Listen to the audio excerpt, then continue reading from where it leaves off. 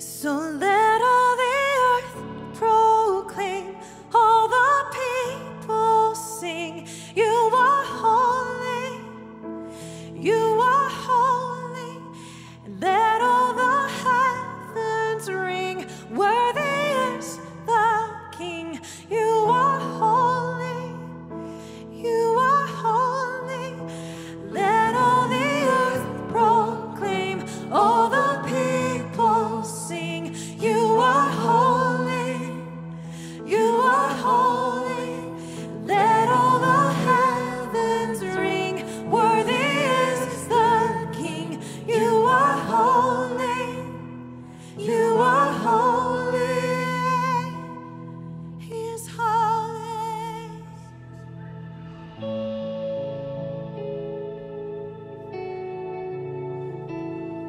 So now we lift this song to our Savior, to our King.